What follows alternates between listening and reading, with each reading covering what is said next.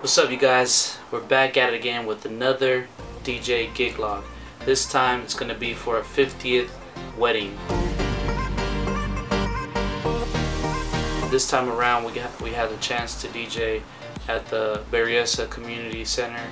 Um, small setup, like I said, nothing nothing crazy on this one. So for those who don't know the tradition, usually 25 years of marriage is called uh, boda de plata, means uh, platinum wedding and uh, every 50 years of marriage that's called uh, uh, boda de oro so golden marriage.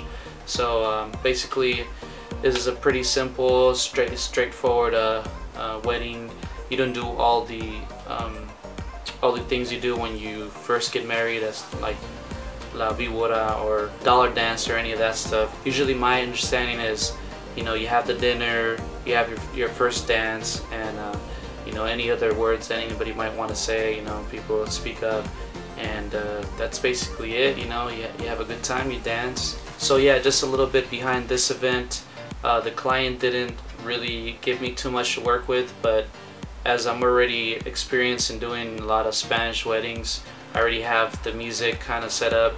Uh, it's always helpful if the client you know tells me at least a week or two uh, ahead of time what kind of music the client likes or you know uh, a little small, small playlist because that will help me uh, curate the playlist a little better for the event. But other than that, it went fine. I mean, I had most of the music that they wanted, just a few songs that we had to download on the spot. The only, the only thing I could say about this event is that I got there three hours prior to start time and the place was closed it was just some complications as far as uh, communicating to the person in charge of the hall that we were there, but it just didn't work out, and uh, we waited. I don't know, just about 30 minutes or so until we got in. Nothing, nothing major, but I like to. That's why I like to be there early, just to you know resolve any issues that might occur, or maybe there could have been a longer delay if we weren't there earlier. So, just a, a little tip right there, but anyways we got in there in good time. We were we weren't rushed. We did everything fine. We even had at least a good 40 minutes after we were done to just you know tidy up things and all that. And yeah everything went really well. You know compliments from from the client's uh, guest were very welcome Alright, ya estamos listos. Aquí con el uh, Carlitos. Ready to go.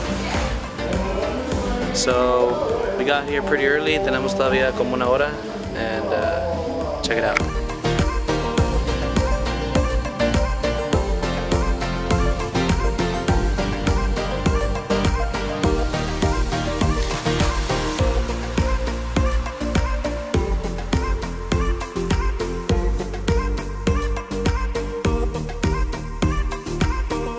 So I also got the chance to work with this vendor at this event called MY Diseñadora y Decoradora, which is basically the people that de that design the the table settings and everything that go on in you know on the tables or chairs. So big shout out to Yesenia. She did a really awesome job, really professional. I got some clips of uh, her work, so check this out. My name is Iris Garcia, and we, I work for MY Diseñadora and Decoradora, and we did this anniversary event.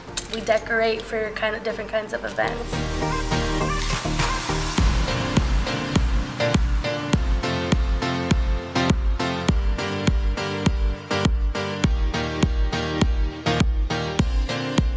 Also big shout out to Carlos for helping me out with this wedding.